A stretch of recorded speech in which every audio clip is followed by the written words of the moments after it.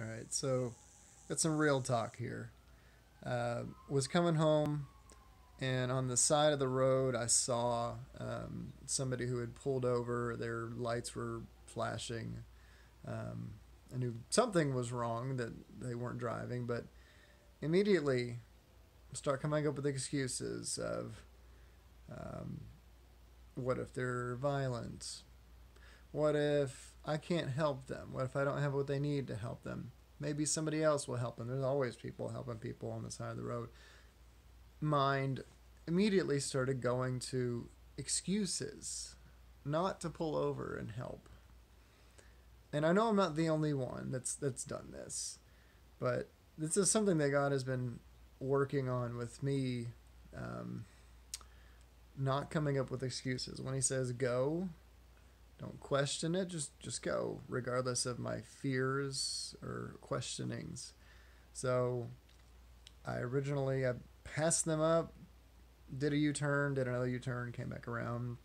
Thankfully, it ended up just being uh, they just needed a lug nut removed. Um, thankfully, but I feel like this situation applies to a lot of things. How many times has God asked us to do something specific, maybe something that's getting us out of our comfort zone, and we find some excuse, uh, great or small, to not go do it? Um, and so I'm thinking of uh, in, in, the book of Matthew, chapter 21, verse um, 28, and I'll just read from here.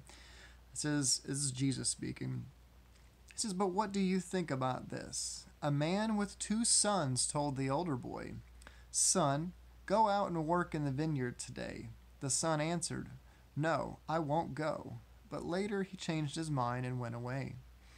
Then the father told the other son, You go. And he said, Yes, sir, I will. But he didn't go. Which of the two obeyed his father? And they replied, The first.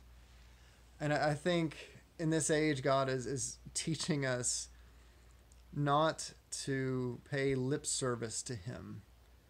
He's not interested in what we're going to say, he's interested in what we're going to do.